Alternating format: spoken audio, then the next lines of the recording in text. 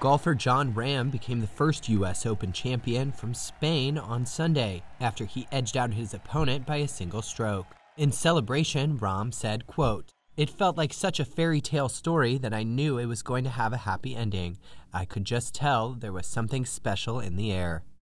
Rahm avoided a bogey on the inward half and finished with two birdies to put him ahead of runner up South African golfer Louis Oosthuizen.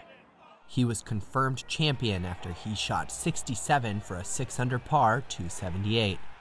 Rahm dedicated his victory to the former professional golfer and fellow countryman Seve Ballesteros, who died a decade ago from brain cancer.